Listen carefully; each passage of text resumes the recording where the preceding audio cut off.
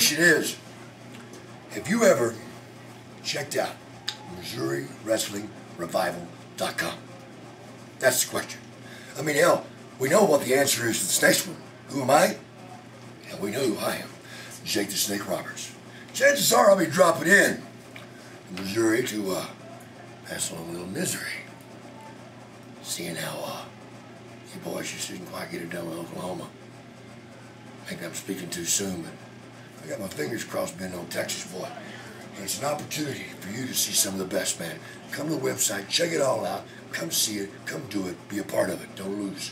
Trust me.